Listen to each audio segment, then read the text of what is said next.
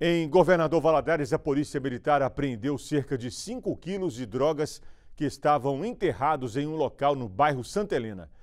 Existe a suspeita de que o material possa ter ligação com os 100 quilos apreendidos há um mês na mesma região. A denúncia foi anônima.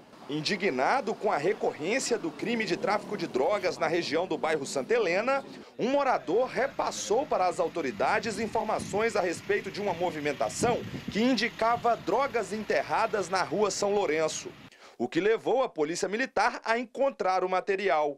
Com auxílio da comunidade, que vem compartilhando conosco informações importantes, e isso tem que ser lembrado e parabenizado, a Polícia Militar, através dessas informações, a equipe GEPAR Carapina, Tático Móvel do 6 Batalhão e a Roca, nós montamos uma operação e conseguimos localizar essa droga também com o auxílio do cão, né, e graças a Deus está aí essa, essa vitória.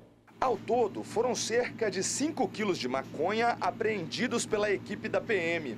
Os militares ainda procuram o dono dos entorpecentes. Entre os apontados estaria o líder de uma gangue.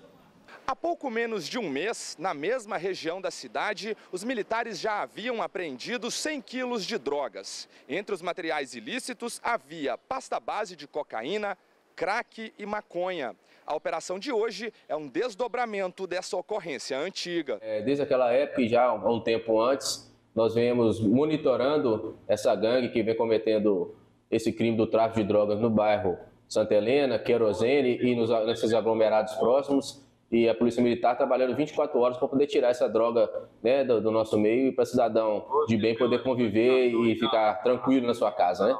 As polícias civil e militar podem trabalhar de maneira integrada. As denúncias anônimas norteiam a apuração de possíveis crimes. Os números 181 são um canal oficial de denúncia, bem como o 190, que está à disposição da população.